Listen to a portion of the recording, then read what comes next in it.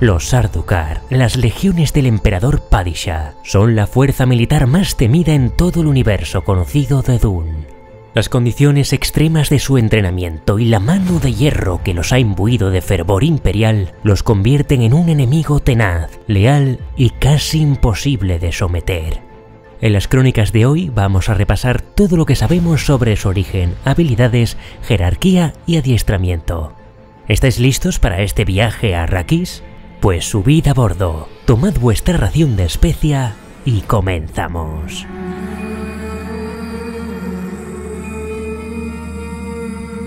Para entender cómo funcionan los Sardukar, se hace imprescindible conocer Salusa Secundus, el planeta que los ha convertido en lo que son, y por tanto merece la pena hacer un breve repaso por su historia. En el origen, Salusa Secundus era un planeta fértil, aunque su vida en él no era sencilla. Cuando llegaron los primeros colonos, el clima del planeta era uno de los más extremos, teniendo a menudo grandes sequías y luego lluvias torrenciales sobre cortos periodos de tiempo. Asimismo, podía cambiar rápidamente del calor intenso al frío extremo, y si querían sobrevivir, aquellos primeros colonos tuvieron que compartir territorio con la fauna salvaje, de la cual destacaban el infame toro salusano y el tigre de laza entre los más terroríficos.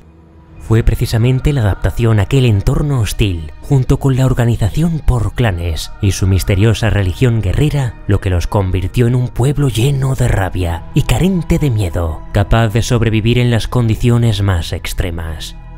Pronto se hizo indispensable establecer una nueva forma de gobierno, un sistema que en un principio estuvo formado por muchas familias y clanes con títulos hereditarios, hasta que finalmente fueron unificados bajo el mando de un líder que les llevaría, a su juicio, a la supremacía de todo el universo conocido. Y de aquella nueva sociedad surgiría una curtida fuerza militar unificada, los Sardokar. La presencia de Salusa Secundus cobraría especial relevancia unos 11.000 años antes de los sucesos de Dune, durante la denominada Era de los Titanes, cuando las máquinas pensantes tomaron el control del imperio y los humanos libres de 10.000 sistemas se unieron bajo la Liga de los Nobles. Perseguidos por los titanes con sus computadoras y la inteligencia artificial, la Liga de los Nobles encontró refugio en Salusa Secundus, convirtiéndose así en la base de operaciones principal, desde la cual ofrecerían a sus opresores una formidable resistencia. Tras consolidar su poder, los titanes dividieron el universo en pequeños feudos y se instalaron como dictadores, gobernando con brutal y cruel eficiencia y más adelante con el ascenso de los Cimex liderados por la inteligencia artificial Omnius, estalló la yihad butleriana. Las máquinas atacaron Salusa Secundus en incontables ocasiones, pero la Liga siguió resistiendo hasta que su victoria obtenida en la batalla de Corrin puso fin al dominio de la inteligencia artificial. Entonces, la casa Butler de Salusa Secundus, cuyas hazañas hicieron que la yihad butleriana llevara su nombre, pasó a llamarse la Casa Corrino, en honor al lugar donde aconteció el legendario enfrentamiento. Y con este nuevo apellido fueron nombrados líderes supremos del nuevo imperio, siendo Faikan Corrino el primer emperador Padishah de la dinastía. Salusa Secundus sería la capital del imperio Padishah durante siglos, hasta que el emperador Hasik Corrino III trasladó el trono imperial a Kaitein, tras un ataque con armas atómicas producido por la casa Tantor. Sin embargo, Hasik logró sacar provecho de la catástrofe al convertir el devastado planeta de Salusa Secundus en una prisión. El ataque hizo aún más si cabe que el entorno de Salusa Secundus fuera más duro y hostil, y con el guante de acero adecuado, fue el caldo de cultivo perfecto para formar a la unidad militar de élite del emperador, los Sardokar imperiales. La ciudad principal del planeta prisión es Cimia, en su día una gloriosa y noble ciudad, rodeada de vegetación y donde la cultura rezumaba de cada edificio ahora es un yermo estéril que alberga el único puerto espacial del planeta. Allí llegan los prisioneros que son condenados a cadena perpetua y conforman la mayor parte de la población del planeta.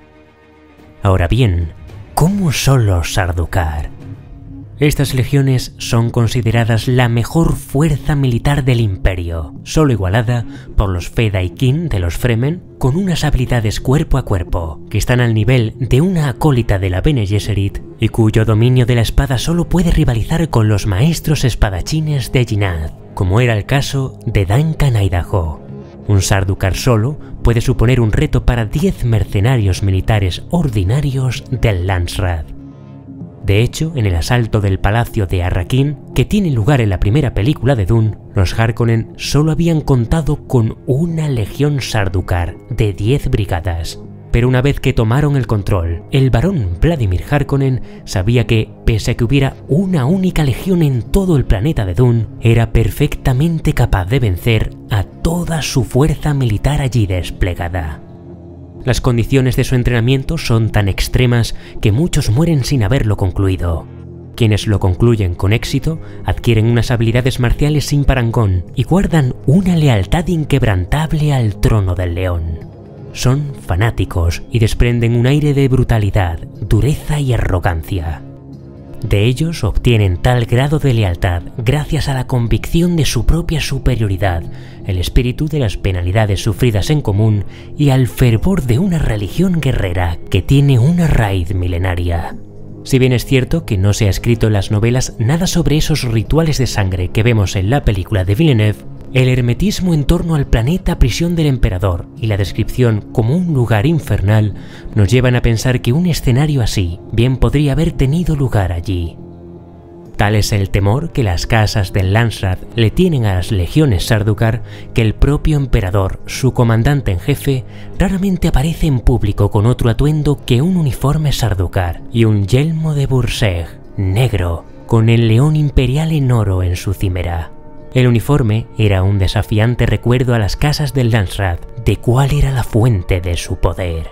Aunque ciertamente los Sardokar tienen un uniforme de batalla oficial, durante sus operaciones en Arrakis casi siempre fueron vestidos con uniformes Harkonnen, para evitar mostrar abiertamente que el emperador era el verdadero artífice del complot contra los Atreides. Sobre los uniformes oficiales tenemos una descripción al final de la novela Dune, o al menos del uniforme Sardukar del emperador, del que se dice que era gris con franjas de oro y plata. Quizá este sea el uniforme de los oficiales, pero en la película y en la guía del juego de rol Dune Aventuras del Imperio, que ha sido aprobada por Brian Herbert, los uniformes de batalla se describen de color blanco. Estos están equipados según la necesidad con casco, espada, daga, arma de mano, cuchillos arrojadizos y escudo personal, así como una gran variedad de armas ocultas que van desde el hilo de Shiga, camuflado en el pelo, hasta venenos, agujas, armas escondidas en los dedos o dientes falsos. Su arma favorita es la espada, y sus trajes de batalla nunca incluyen vaina, ya que jamás la enfundan. En la misma guía se dice que los Sardukar también están entrenados en operaciones encubiertas, dominando el uso del disfraz, la infiltración, la guerra psicológica y el pilotaje. Y pese a que utilicen otro uniforme, tienen un distintivo estilo de lucha basado en el trabajo en equipo, que los hacen fácilmente reconocibles cuando se despliegan en combate. Así fue como, en la novela, Paul Atreides supo con toda certeza que pese a los uniformes Harkonnen que usaban, la mano de hierro del emperador estaba golpeando directamente a la casa Atreides. En cuanto a su jerarquía, podemos establecer el sistema de rango de la siguiente manera, de mayor a menor. En la cabeza está el emperador, que es el comandante en jefe de todos, por debajo de él tenemos los Bursegs, que hacen la función de comandante general, en ocasiones abarcando el gobierno de una fuerza planetaria completa. Luego está el Caid, cuyas tareas consisten principalmente en tratar con los civiles, y ejerce como gobernador militar de todo un distrito planetario. En menor grado tenemos el Bashar, a menudo también llamado Coronel Bashar, un rango creado para los gobernadores militares de los subdistritos planetarios. Por debajo ya tendríamos los rangos de coronel, bator, levenbrecht, capitán y por último el soldado raso. Sobre su trama en la primera novela de Dune, Solo diremos que, pese a su reputación como fuerza de élite, su comandante en jefe, el emperador, comete dos errores fundamentales al enviar su fuerza militar a Arrakis. 1. Subestimar a un enemigo como los Fremen, a quienes consideran meros salvajes del desierto, muy inferiores a sus Sardaukar. Y 2. Atacar desconociendo por completo no solo sus habilidades de combate, sino su número de efectivos, que jamás figuró en los registros imperiales. Por tanto, el exceso de confianza y la arrogancia son, con toda seguridad, el talón de Aquiles del emperador y por extensión a estas legiones que con la llegada de Paul Atreides a Arrakis se verán en serios apuros por primera vez en su larga historia.